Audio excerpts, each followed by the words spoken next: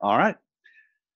We're now ready to continue the series for Insight EasyBuilder workshops. And again, we are recording this for our YouTube channel.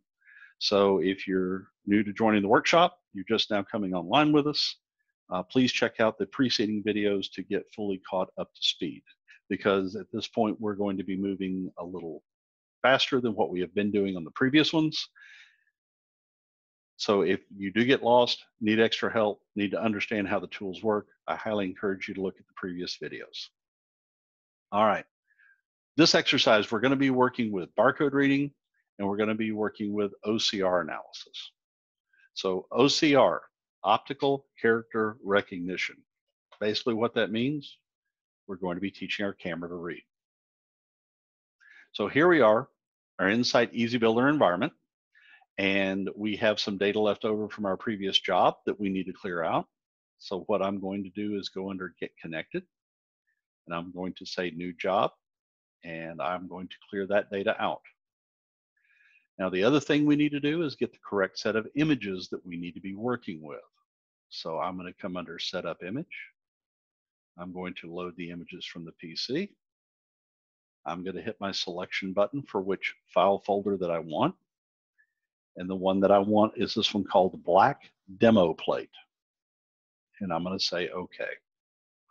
So you notice here, I have my demo plate, which is a laser etched outline of a Cognex camera. And there's various inspections we could be doing with this, but we're going to be focusing just very simply on code reading and OCR analysis to be able to teach the camera on how to read. So here we go. First thing we're going to do with this one, in this particular case, is we are going to set up a locate tool. So the locate tool is the tool that locks onto the part that all the other tools reference. So as the part moves around, all the other tools move with it. And we're going to be choosing a pattern tool and hit add. And I'm going to choose what represents the lens portion of this camera and say OK. So now I have my pattern tool and we covered this in um, section one of this video series. If you need more help on setting up the locate tool and what a pattern, basic pattern tool is, please refer to that video on our YouTube channel. So right now we have our locate tool. We have a good green crosshair with it. So now we're going to start setting up and doing inspection with it.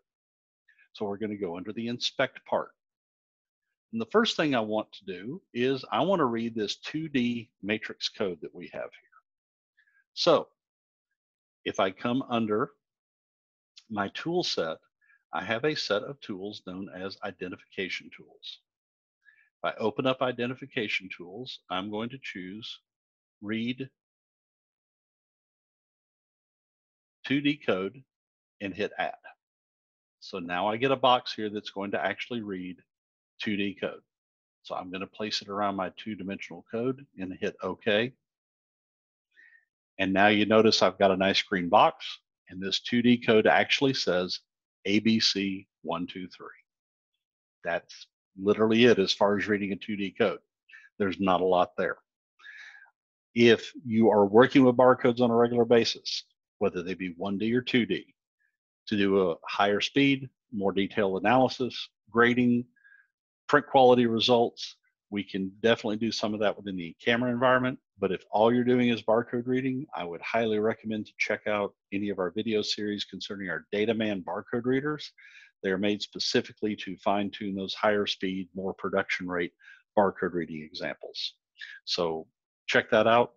For today though, this is it. This is all we need to do to be able to read a basic code, just literally dropping the code down. All right, the next thing we want to do is actually perform an OCR analysis. OCR stands for optical character recognition. So for optical character recognition, I'm still going to be under the identification tools, but I'm going to choose the one that says read text OCR max, and I'm going to hit add. So I'm going to put this tool around these letters that say ABC 123 and I'm going to hit OK. So it puts the tool in place and it immediately does a couple things. One is it has already identified, and I'm going to zoom in on this.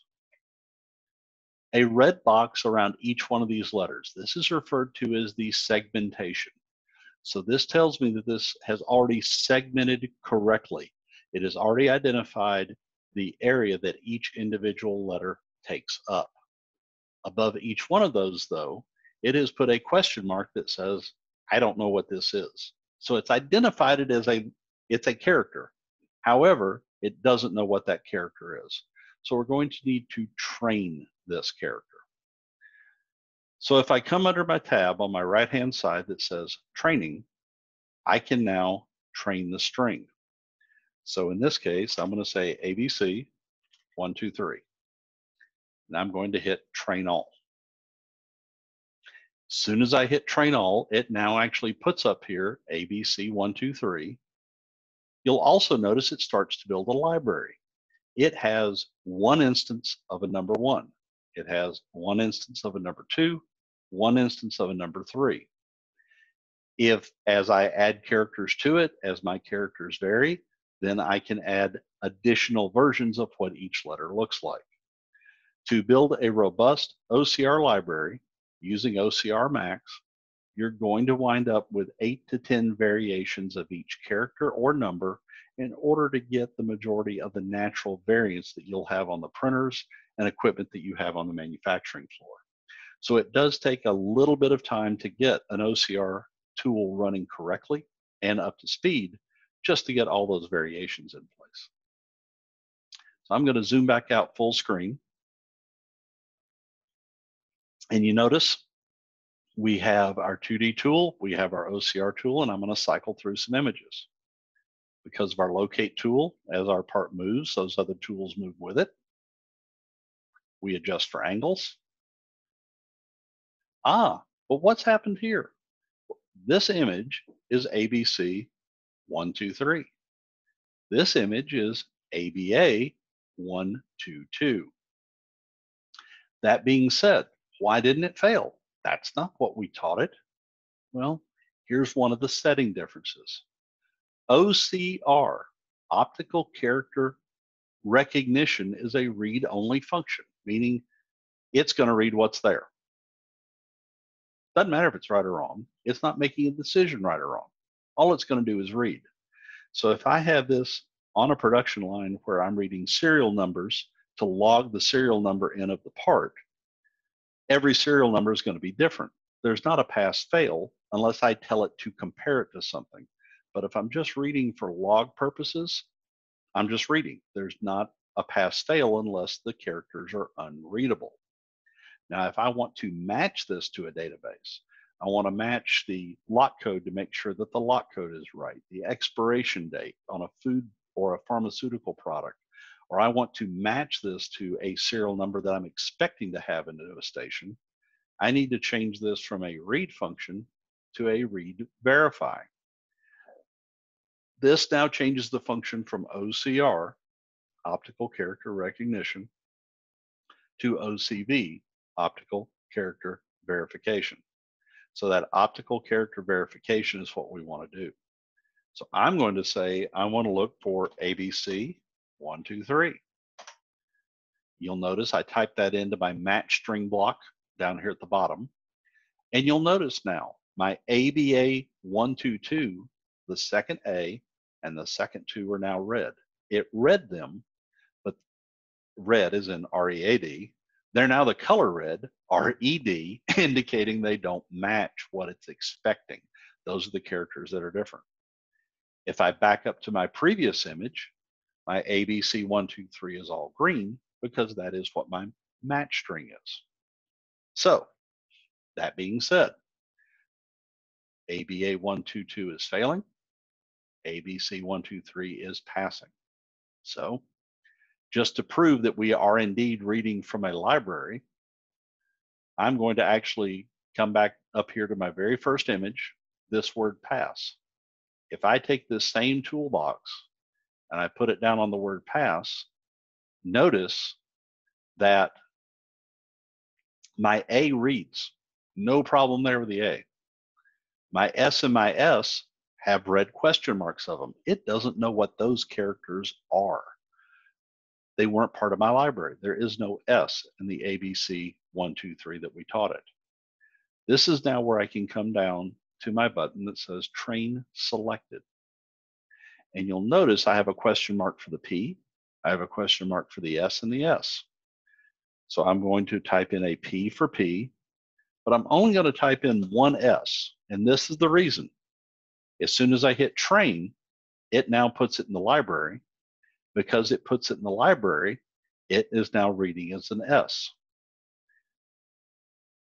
It read the second S, even though I'd only taught one version of it. And then I had the letter P in here. Well, the P is yellow. Remember, we're still in read verify mode. The P has a lot of the same pixels as this letter B. It's close. It's more like what it's expecting to be as a B, but not quite. So it shows up as yellow where the S is just totally different and showed up as red. It was too dissimilar. If I change this back to just a read, then everything comes back up in green and we read correctly. All right. Basic example of a OCR, OCV, and 2D code reading example. So we're going to minimize this back out and we're going to be moving on to the next section.